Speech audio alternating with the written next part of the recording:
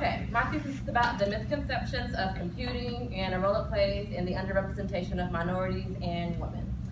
Um, right now, there are more computing jobs than computer science graduates to fill them. Everybody pretty much knows that. Uh, let's see, there's about 500,000 open computing jobs, and there's about 50,000 computer science graduates every year. About 51% of those are white males, about 20% are Asian males, and about 25% are women.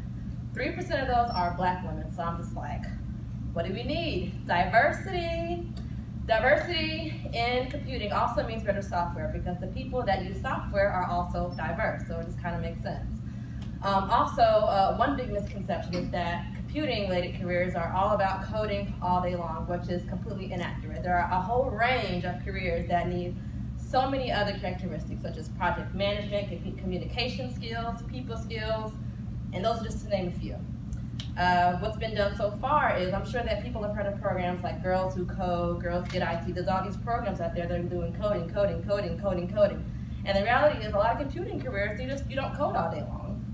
Um, so what we would like to do is we would like to survey uh, students to kind of see what their misconceptions are, if maybe they think that it's just coding all day long, to kind of figure out what kind of turns them off. And we also want to survey alumni and people that are currently in the field to find out what they're really doing every day and what roles that they're doing that in.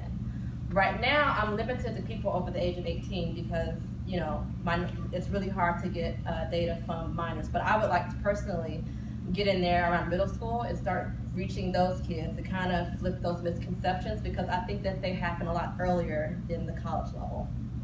Um, and I'm hoping that the research actually changes the output and rises the number of uh, computing related career professionals because I just believe we're missing out on a whole group of people that we haven't really touched. So, and I've had a range of jobs and very rarely, I mean, I do some coding, you have to know, you have to have a basic knowledge of coding, but there's just so many other things um, that you need, so.